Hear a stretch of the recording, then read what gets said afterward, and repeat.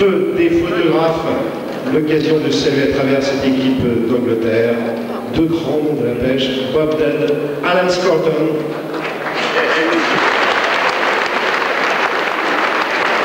52 médailles depuis le début de ces championnats du monde, c'était en 54.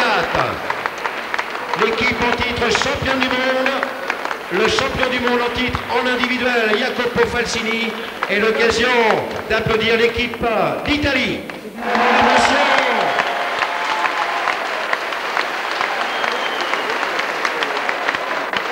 Après la Yougoslavie, permettez d'accueillir l'équipe de France. Emmené par son premier capitaine, Henri Durosier. Deuxième capitaine, Jean-Philippe, salué par Monsieur le maire. L'occasion de saluer toute cette équipe, Didier Guessard, Ouais. Diego Christophe Gazenois, Jean-Pierre Fouja, au nom de l'équipe de France.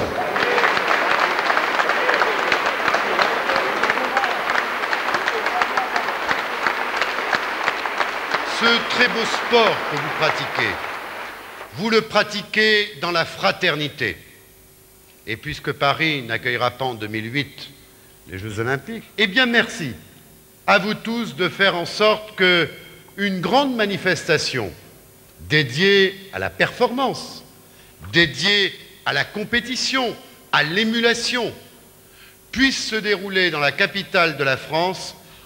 Alors je suis heureux que la Seine, qui est classée dans le patrimoine de l'humanité, soit à vous pour cette manifestation.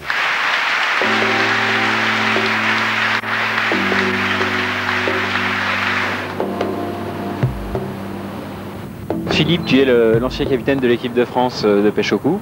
C'est aujourd'hui les championnats du monde euh, de pêche à Paris. Qu'est-ce que tu en penses? Par rapport aux entraînements qu'on avait pu faire l'année passée avec l'équipe euh, de France, le poisson est moins au rendez-vous. C'est vrai que la Seine est extrêmement claire cette année et que l'année dernière on avait une eau un peu plus trouble et c'est sans doute la raison de- des petites pêches qui ont été faites tout au long de la semaine. Bon, mais espérons qu'aujourd'hui les pêcheurs vont être transcendés et que le poisson sera au rendez-vous. En ce qui concerne les favoris, euh, quelle est ton opinion Eh bien, disons que euh, Français euh, et connaissant les qualités de mes anciens collègues, je pense qu'ils ont plus qu'une chance d'être sur la plus haute marche du podium. Bon, le, le problème, c'est un petit peu les secteurs qui sont difficiles cette année, le gros caillou entre autres, etc., qui peuvent éventuellement embrouiller les cartes en fonction du tirage au sort. Mais je pense qu'il n'y aura pas trop de surprises quant à la composition du, podium et que les équipes comme l'Angleterre, l'Italie, la Belgique et la France euh, seront au rendez-vous.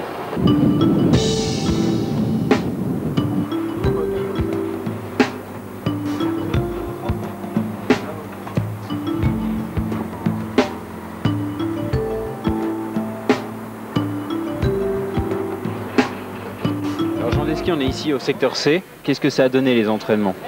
Alors bon, le secteur C est un des secteurs les meilleurs hein, du, parcours. Il y avait beaucoup de poissons, mais surtout dans la partie aval, du numéro 1 au 15, et autour de la coupure du pont des Arts, où il y avait 4 ou 5 places où ils se prenaient des beaux poissons. Bon là, je suis a priori, d'après les entraînements, un petit peu haut. La place est quand même assez difficile à négocier. Il y a, il y a des accros et il y a apparemment un petit peu moins de poissons. Mais bon, à la pêche, on ne peut jamais prédire avant ce qui se passera, donc il faut pêcher du mieux possible pour essayer de faire le meilleur résultat. quoi. La tactique euh, qui est choisie au jour d'aujourd'hui, c'est la grande canne Bien entendu, euh, la Seine, c'est une pêche à la grande canne. Euh, il faut essayer de prendre un ou deux petits poissons pour sauver les- le capot, quoi, parce que bon, il peut y avoir des capots dans les secteurs, donc il faut éviter d'être capot. Et puis, il faut prendre quelques beaux poissons. La pêche est plutôt dure et je pense que 4 à 5 poissons, un beau poisson sur le fond devrait permettre de faire un classement correct. quoi. On nous a parlé de silure euh, qui était présent sur certains secteurs. Est-ce que c'est le cas ici Alors c'est vrai qu'il y, a des- il y a des silures dans la Seine. On en avait vu notamment nous il y a trois semaines quand on était venu s'entraîner, mais depuis avec le coup de froid, on les voit plus sauter, plus rien. Je pense que déjà ils ont commencé à regagner les fosses.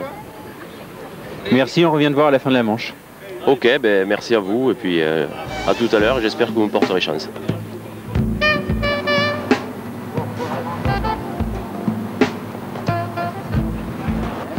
Wagomnut qui hum, opte sur un, flotteur euh, pour pêcher à Calais, c'est un flotteur plat, donc qu'on utilise en principe pour pêcher euh, dans des courants très forts et pour ralentir la ligne au maximum.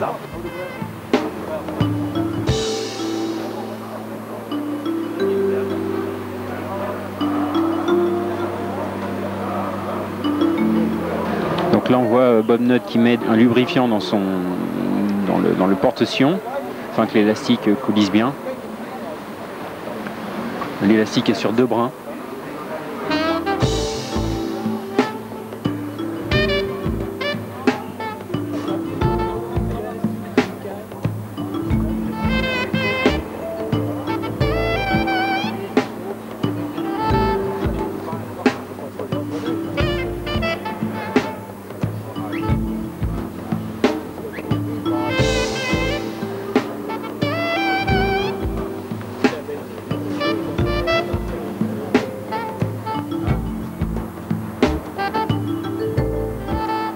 De on est ici sur le secteur euh, B. Euh, est-ce que tu as eu le loisir de t'entraîner ici euh? Ah J'ai même de mauvais souvenirs sur les entraînements du secteur des Tuileries parce qu'en fait j'étais tombé deux fois en, aval du secteur et j'ai eu des places qui ne passaient pas une ligne. Donc ces jours-là j'ai pas pris grand chose donc j'avais un peu, un peu d'appréhension de tomber sur ces places là. Et puis le tirage à sort a fait que ben, je tombe là-dessus. Donc euh, j'ai une revanche à prendre sur les deux places que j'ai eues et je vais pas me gêner pour essayer de prendre euh, du poisson.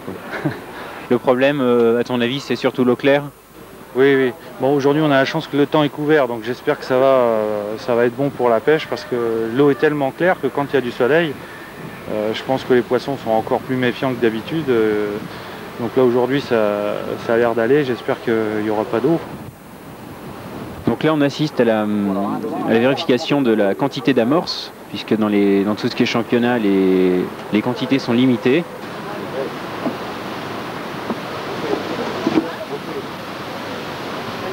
Voilà, donc un peu trop d'amorces qui va être euh, euh, jeté.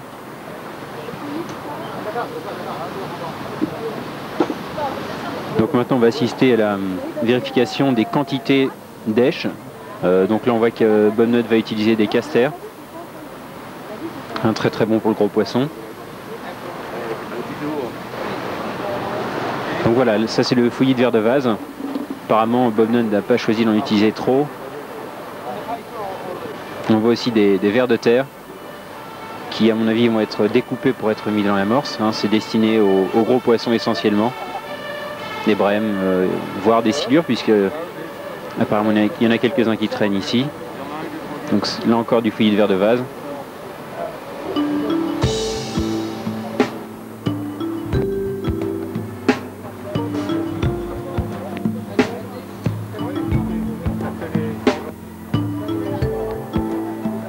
Euh, Didier Delannoy, euh, tu es le monsieur plus des clics pêche, donc le spécialiste de l'amorce.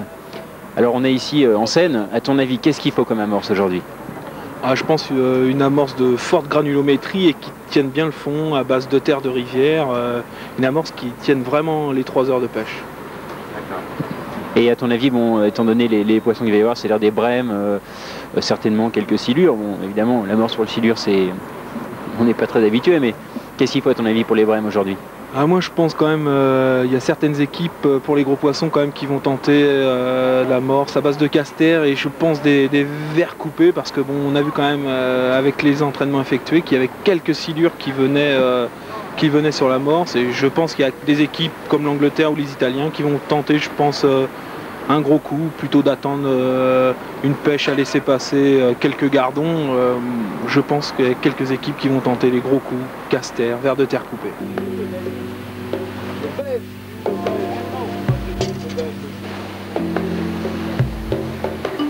Nous sommes derrière euh, Umberto Balabeni. Il est en train de mélanger euh, des asticots, du fouillis de verre de vase dans son amorce.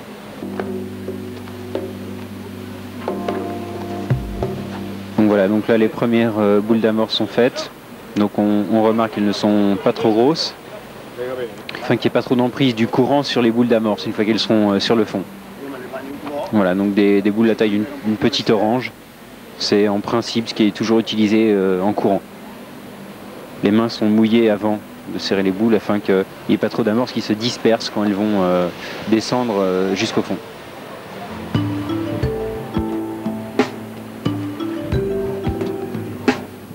C'est le début de l'amorçage.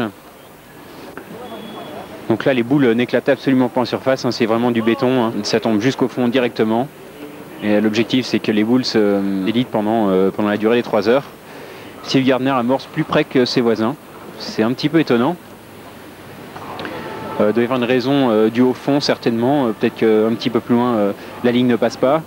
En tous les cas, euh, l'amorçage est, euh, est assez court. hein. Là on a quelques boules qui se sont serrées au dernier moment, donc qui seront certainement moins lourdes. Voilà, ça éclate un petit peu plus en surface. Certainement destiné à, happer le poisson plus rapidement. Voilà, donc là ça éclate en surface. hein. Donc là nous sommes derrière euh, Diego da Silva pour l'amorçage de la première manche toujours. Oh là c'est pareil, hein, les, boules sont, les boules sont très très lourdes. Une amorce très collante apparemment en quelques serrages. L'amorce ne nuage absolument pas en surface. Amorçage un petit peu plus long que Sylvie Gardner, certainement 1m50 plus loin.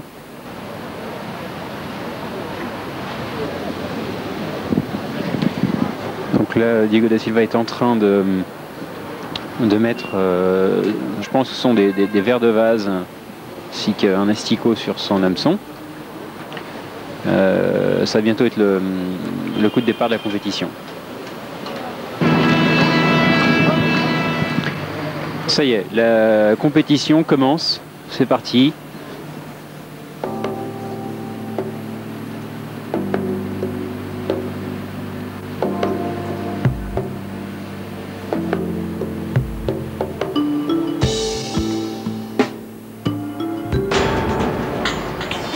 Premier poisson pour euh, Diego da Silva. Un des premiers poissons, un gardon. Voilà.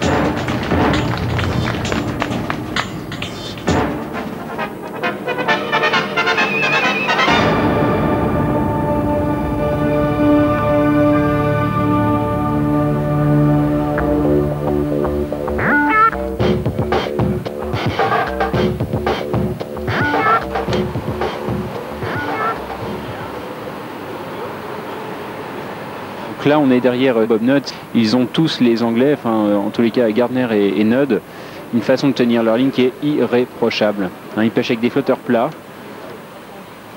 Ils ralentissent la ligne sans l'arrêter complètement.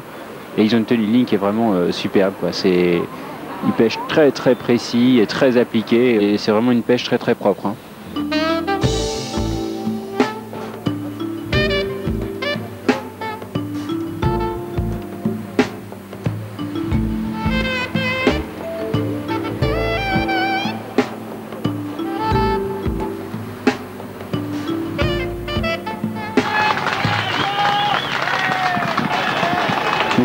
Poisson de Jean Desquier, enfin le deuxième, mais là, un poisson un petit peu plus conséquent. Le premier c'était une ablette.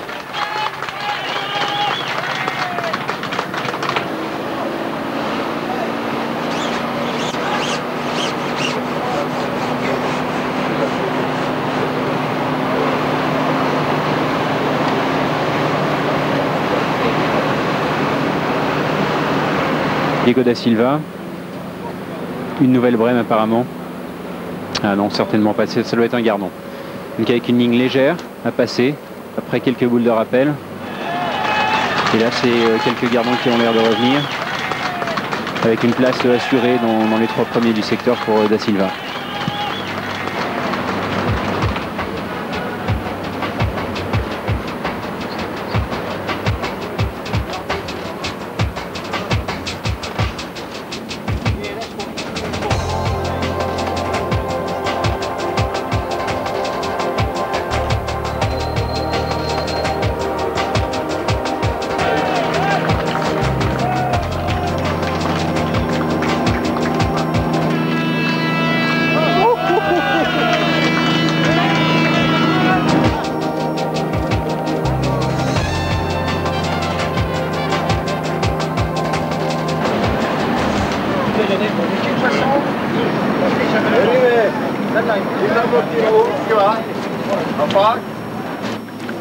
Cinq. T'as peur? Six. Poisson.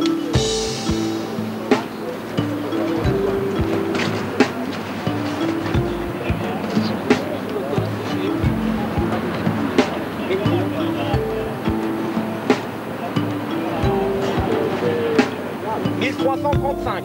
Ok?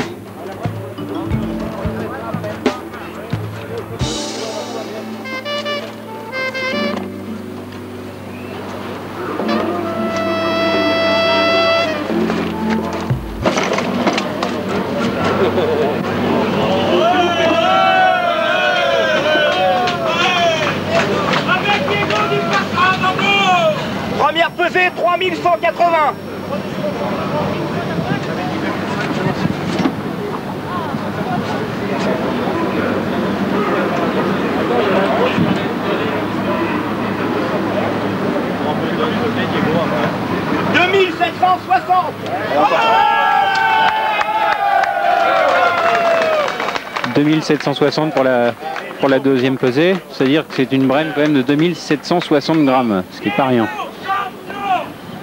Bon Diego, la, première manche vient de s'écouler, tu viens certainement de gagner le secteur. Euh, Est-ce que c'est c'est la pêche que tu attendais Oui, oui, j'attendais, euh, bah, si tu veux, j'attendais déjà de faire mon premier poisson et j'ai eu la chance de prendre le premier poisson, je pense, dans le premier quart d'heure. Donc quand tu as fait ce satané poisson, tu pêches vraiment autrement. euh, Tu sais que pour l'équipe, tu prends plus de risques. Donc euh, bah, après, tu pêches un peu plus cool. Quoi. Et donc tu, tu- tu rappelles, tu fais bien gaffe. Et puis j'étais vraiment motivé à 100% jusqu'à la fin. À chaque coulée, j'y croyais. Non, il a gagné. Et puis euh, voilà. Quoi. Il a gagné chez Tu as fait une brème qui est, qui est quand même énorme, hein, 2,7 kg, c'est quand même pas mal. Euh, tu as eu du mal à la sortir, on n'était pas là nous malheureusement. J'ai mis un temps fou à la sortir parce qu'en plus euh, elle était euh, prise par la nageoire. Et tu sais, il y avait un accro en plein milieu de coulée et à chaque fois que je passais dessus, j'avais un semblant de touche. Et à un moment, ce semblant de touche, je l'ai ferré et j'étais pendu. J'ai mis euh, peut-être un quart d'heure à la sortir. Parce qu'en plus, tu sais qu'un un poisson, quand il est harponné, tu mets un temps fou à l'attraper. Donc j'ai été vraiment tout doucement et elle est arrivée, euh, elle est- montée centimètre par centimètre et impeccable. La tactique que tu as employée, c'était un amorçage sans rappel au départ Euh, Non, non, moi justement j'ai rappelé euh, relativement tôt parce que vu le courant, euh, je me suis dit, et c'est ce qu'on s'était dit, que fait l'amorce est enlevée par le courant, donc il faut recharger à chaque fois le coup et toutes les demi-heures et c'était facile pour moi parce qu'en face j'ai deux grosses horloges. Alors toutes les demi-heures je faisais gaffe et je remettais euh, 10 boules quoi. Je refaisais un coup à moi tout seul. Bon bah c'est parfait, donc on te donne rendez-vous demain pour une nouvelle victoire de secteur. Ça c'est autre chose ça. On verra ça. Eh bien, en tête, euh, l'Italie, 41 points et demi. Second, la Yougoslavie, 41 points et demi également, mais battu au poids. Troisième, la France, 45 points. Quatrième, l'Angleterre, 49 points.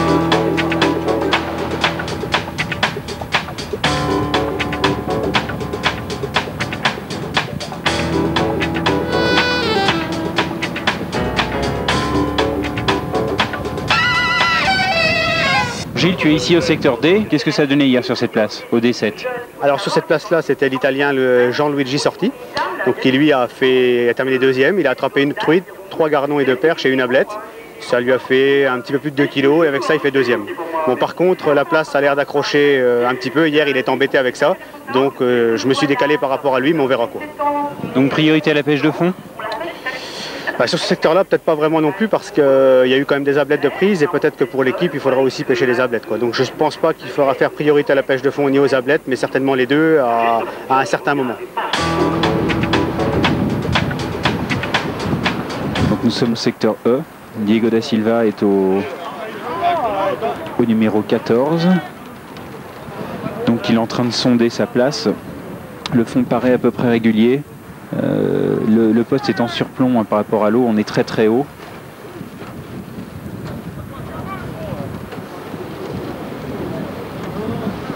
Là on remarque que le fond est vraiment très régulier, hein, c'est un billard, ce qui va faciliter la pêche vraiment sur le fond. Euh, La coulée est très très propre, hein, c'est très très bien pour pêcher le fond.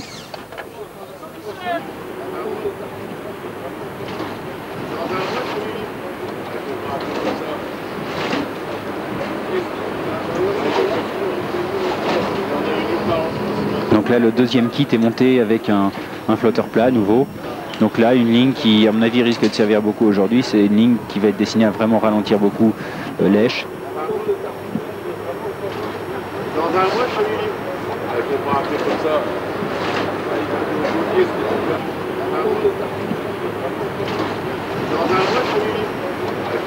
Diego rallonge sa ligne, hein, puisque le fond est, vraiment important euh, aujourd'hui sur cette place.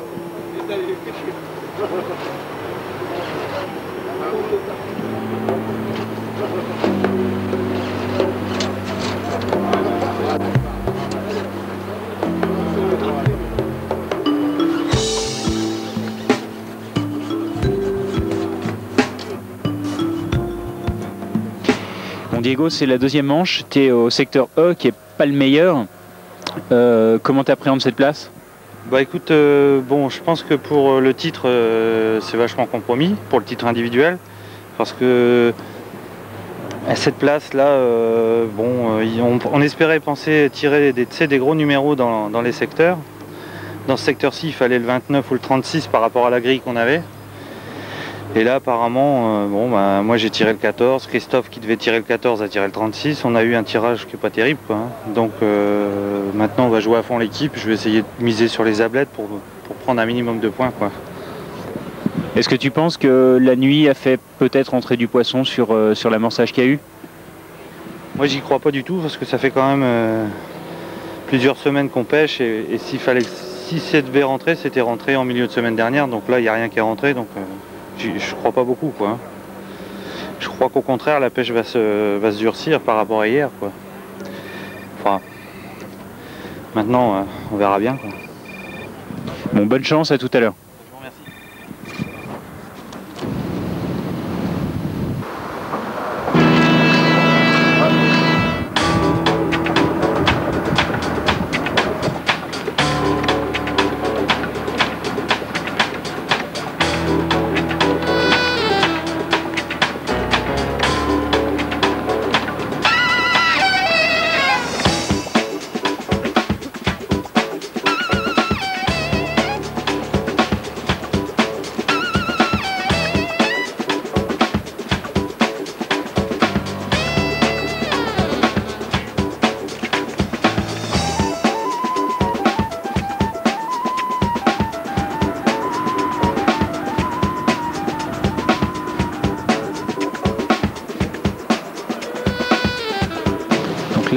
William euh, bah, met au bout de la ligne euh, des vers, hein, des vers de terre carrément. Euh, bon là, c'est clair que c'est pour prendre une anguille, une grosse brème.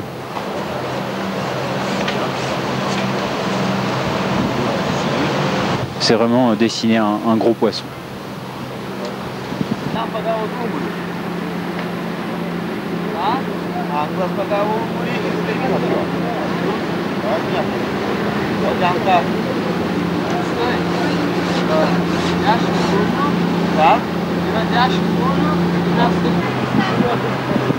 Là, William vient de toucher un gros poisson.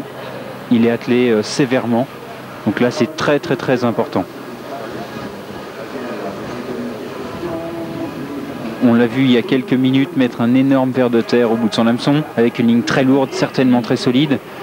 Et là, euh, William met bien la canne dans l'eau pour éviter que si le poisson monte euh, dans la zone neutre, il ne soit pénalisé. Apparemment, le poisson est quand même très très gros. Hein. Ça tire très fortement. Une façon un peu inhabituelle de travailler le poisson, en ramenant la canne comme ça vers le bas. Le poisson est apparemment très gros, hein. mais je pense que la ligne doit être euh, très solide. Et il tire carrément le poisson à la main. Il n'utilise pas du tout le, le sion ni la canne. Ah là c'est cassé, c'est un poisson de perdu. C'est cassé. Certainement une anguille ou, ou un très très gros poisson.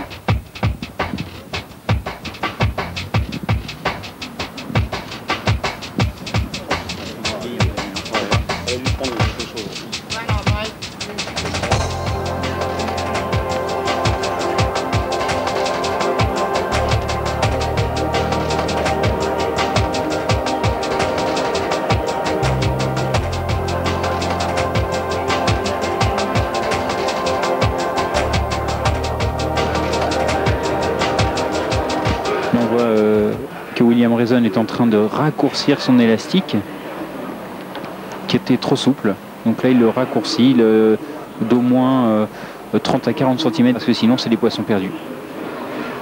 Donc il va tirer à beaucoup plus sur le poisson.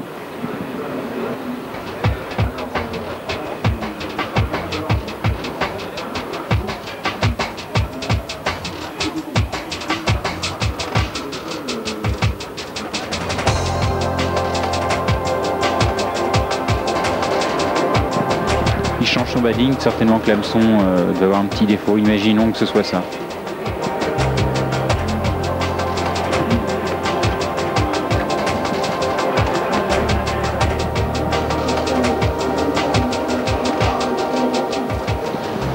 Donc là on est toujours derrière William Raison qui pêche le gros poisson, il sait le faire, il le fait bien.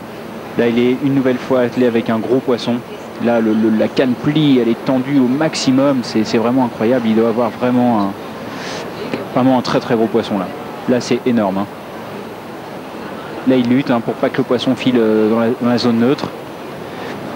La canne est pliée, bon c'est que William Raison a l'habitude de pêcher les carpes hein, dans les carpodromes, c'est un des carp masters. On, va voir ce que ça va donner cette fois-ci.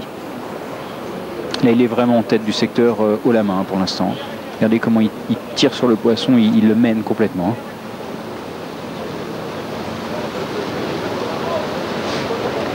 Je vous rappelle qu'il vient de perdre euh, 4-5 beaux poissons déjà sur le fond, qu'il a cassé ou décroché. Et là, euh, il a toujours sa façon si particulière de travailler le poisson. Il, la- il mène, il, mène la danse. hein. Voilà, maintenant il, lève le poisson. Voilà. Alors à quoi est-ce qu'on a affaire? Une nouvelle anguille. Une nouvelle anguille hein, euh, qui la place définitivement euh, hors d'atteinte des autres concurrents.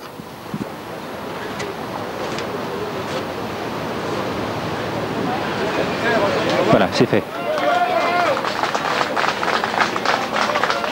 Une très belle anguille, vraiment très très forte. hein. C'est un beau poisson. hein. Le gros souci quand on pêche l'anguille à la canne comme ça, c'est que les anguilles s'entourent autour du fil, s'accrochent dans n'importe quel obstacle et que c'est extrêmement difficile de les sortir. Donc là, la ligne de William Raison doit être vraiment euh, très très très solide. hein. Je pense au moins du 16 centième.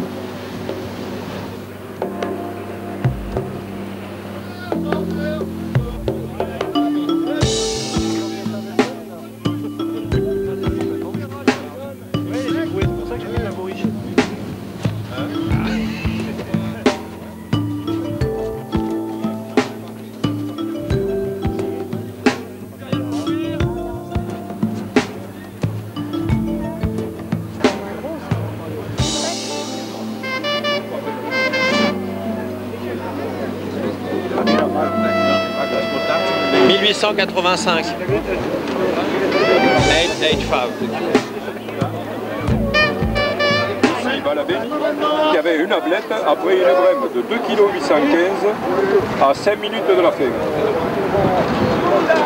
Voilà, il faut voir ailleurs maintenant. hein. Ben, L'anglais, ici, Jean-Pierre, je pense, va faire 7 et Bob Nudd 9. Et l'anglais, il a combien? Oui. Il est, il combien l'anglais pour l'instant D'accord, Gilles va gagner.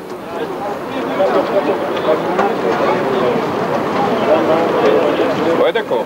Donc je peux mettre l'anglais 6. Bon, Jean-Pierre Fouja, bonjour. Tu viens de remplacer euh, Didier Guessard euh, qui était sur ce même secteur hier, euh, qui n'a pas eu beaucoup de chance, pas de réussite. Comment ça s'est passé pour toi aujourd'hui? Ben, on a fait exactement la même stratégie, c'est-à-dire amorcer lourd au départ, pêcher sur le fond.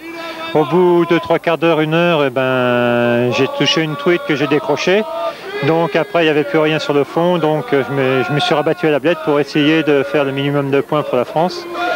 Euh, Et ça t'a réussi? Ça m'a réussi parce que bon, je passe devant l'anglais, mais à 5 minutes de la fin, il y a l'italien qui prend une brame de 2,5 kg. Donc il va passer devant moi. Je pense finir dans les 5-6e. Bon, c'est le minimum de points que j'ai ramassé euh, par rapport à Didier hier qu'on avait ramassé 18. Quoi. Bah, C'est plutôt une bonne performance, il y a de l'ambiance derrière toi? Oui, bien sûr, je suis très connu et comme c'est mon dernier championnat du monde, donc euh, les gens sont déplacés pour me voir et me féliciter. C'est ton, vraiment ton dernier championnat? Tout à fait, euh, je l'ai annoncé l'année passée après le championnat de France. euh, j'arrête tous les championnats, championnat du monde, championnat de Moulinet, championnat de France.